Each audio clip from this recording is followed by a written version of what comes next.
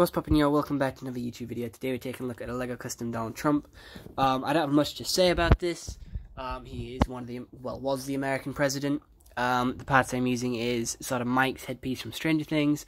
Hair is from pretty much anywhere in LEGO City, and then just a normal suit. Um, Donald Trump was an American president. He's an American businessman as well. Um, and yeah, I thought I'd make him in LEGO because it'd be funny. Uh, I do have a Donald Trump squishy thing. Um, I thought it'd be funny, so I bought it. Um, but yeah, I don't have much else to say.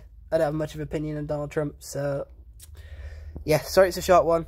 Uh, nothing too interesting with this one. I just want to show you my Lego Donald Trump because I thought I'd test myself and try and make him.